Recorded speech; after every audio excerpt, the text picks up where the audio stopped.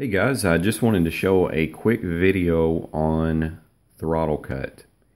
And I think this is really a function that everyone who flies RC and has a uh, computer-based radio uh, should set up. Uh, it's really easy to set up on the Spektrum uh, radios, and I want to show you. Uh, just scroll down to throttle cut, and as you notice right now, it's just set to inhibit. Um, and we're going to set that to, uh, I like to set it to gear one. Uh, that's just my preference. And you notice that gear one is selected now, and then we have a position percentage. And what I'm going to do is move this all the way to uh, negative 30%. Now, what that's going to do is you'll notice the uh, gear switch. Uh, if I can zoom out here,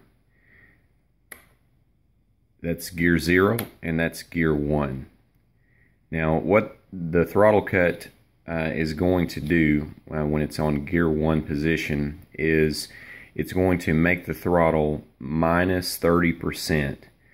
So even if I have the throttle all the way here um, or here, uh, when I have that gear switch to the uh, one position, it's going to keep my motor from throttling up at all.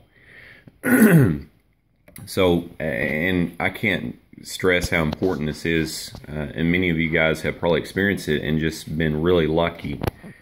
Um, but a lot of times we will, you know, be flying our planes and maybe we'll reach for something, you know, and your sleeve catches it, throttle goes wide open, then you've got basically a spinning blade at 30,000 RPMs that you're not really prepared for.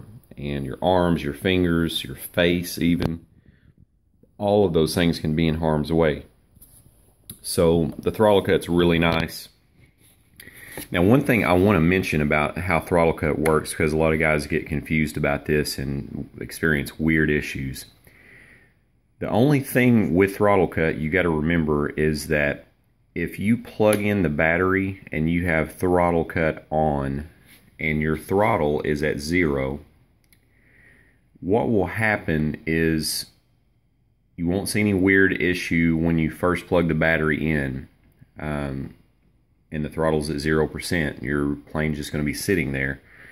But what's going to happen is if when you unengage uh, your throttle cut, so in other words, uh, you put it on gear zero, get this zoomed in, put it on gear zero, your throttle is going to uh, advance 30% basically.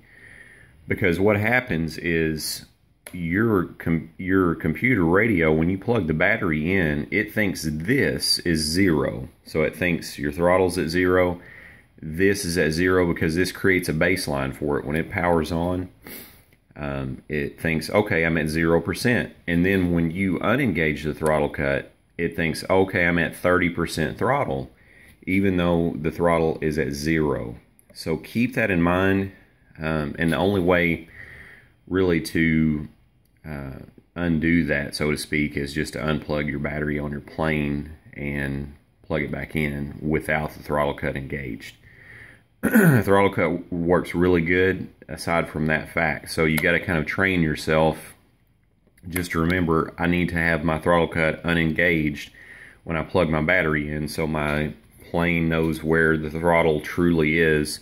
Then once you plug your plane in, everything is bound up to the plane engage that throttle cut until you're ready to um, hand launch a plane or take off your plane. So anyway, hopefully that's a helpful tip for you guys. And again, I think it's something great to set up on every model that you have. Uh, it's a really nice safety feature and it keeps you from you know inadvertently hit hitting the throttle full throttle and you know hurting yourself or someone else around you. So until next time, guys, uh, this is RC Tech Guy. Please visit the website. It's uh, rcairspace.com. Got a lot of nice uh, blog articles and follow-ups to videos that posted on YouTube. So Have a good one, guys. Happy flying. Spring's coming up soon. Looking forward to it. Thanks.